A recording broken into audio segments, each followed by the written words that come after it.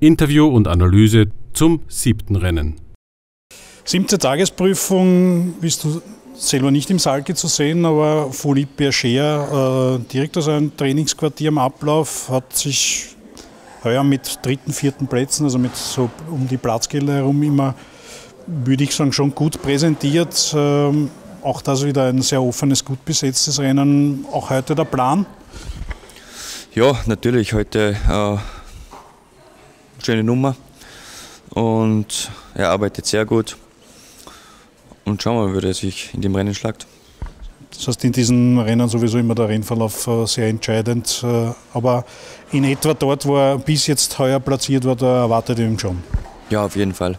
Also ähm, vielleicht werde ich mit, mit Klaus reden, dass er vielleicht am Start ein bisschen mehr riskiert heute, äh, dass wir da nicht immer so viele Plätze verlieren und dann erwarte ich ihn schon wieder 3, 4, 2, ja.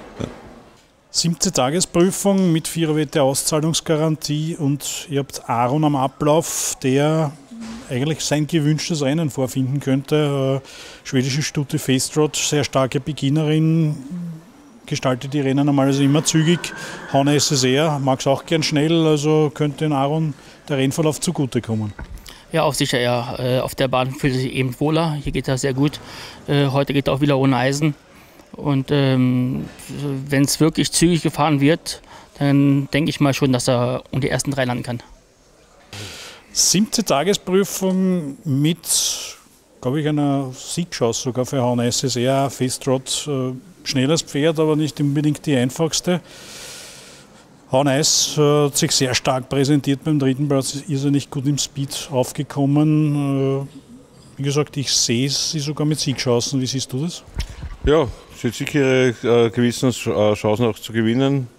Die letzte Leistung war äh, sicher die Top zwei Leistungen und seitdem ich das Pferd vor. Also die war wirklich sensationell, muss ich sagen. Die ist gegen starke Konkurrenten äh, nach einem bisschen äh, zögerlichen Start äh, und hat wirklich einen tollen Spiel gezeigt.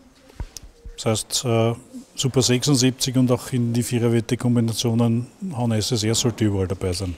Ja, das muss man dazu nehmen. Wie gesagt, sie läuft ja wirklich schon, glaube ich, fast zwei Jahre jetzt durch. Äh, durchwegs äh, gute Rennen. Aber wie gesagt, das letzte war sehr ganz stark und wenn sie es heute äh, bestätigt, dann hat er Sieg geschossen.